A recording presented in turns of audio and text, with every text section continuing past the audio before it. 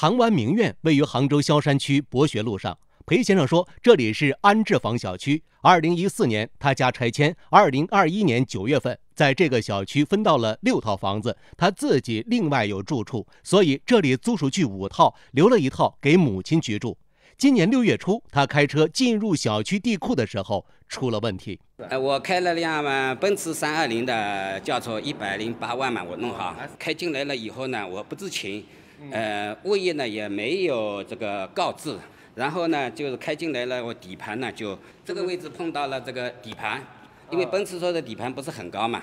入口这里已经拦了起来。裴先生介绍，在他刮了底盘之后，事发位置进行了整改。他提供了之前的照片，说是之前入口这里的下水网口更高一些。他的奔驰车长度有六米多，开过去的时候听到一声异响，到了地下车库后发现已经刮到了底盘。四 S 店修呢要五万五万八，然后呢，后来呢，保险公司跟我呃估估审呢是五万六千多。我现在就是说，要造成这个事故的呃当事人来赔偿，要么物业，要么开发商。交警出具的情况说明显示，车辆与凸起的地面发生刮擦，造成车辆底盘受损。保险公司提供的定损单显示，底盘护板、三元催化部件以及排气管受到了损伤，需要更换。裴先生说，赔偿的问题一直在跟物业沟通，但已经快两个月了，一直没能协商好。那那你自己的保险，你没去走吗？嗯，我自己的保险，因为不是保险的事情。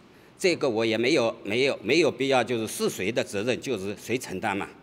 啊，当然说我我现在我我也只有强制，你也只有强制险。哎，强制险。然后商业险为什么没有呢？呃，商业险呢，因为我这个车呢，因为我自己呢有有两三辆车，一辆车我置换掉了，还有一辆呢我一直停着，还在停在小区里。嗯，奥迪 A 六。啊。哎，当时买的时候应该也四十多万嘛。然后我在我呢，嗯，现在呢，因为油价呢也比较贵，我也不大不大去开。我上下班呢都是用电瓶车去开的。哦。然后我单位呢也有公车。